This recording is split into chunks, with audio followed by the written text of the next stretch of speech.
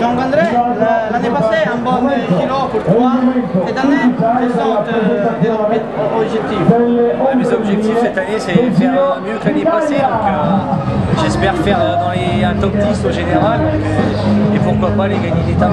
C'est un giro très dur. Euh, on a plusieurs étapes qu'on peut gagner. Euh, as déjà pensé à étape en particulier Non, j'ai pas regardé encore l'étape en particulier. Enfin, j'ai regardé les étapes, mais pour l'instant, euh, j'ai pas encore regardé. Ah, faire la classification pour euh, sortir de, de, la générale pour aller gagner une étape Pour l'instant, je vais faire le classement général et après, si jamais je vois que au général c'est plus possible, j'irai essayer de gagner.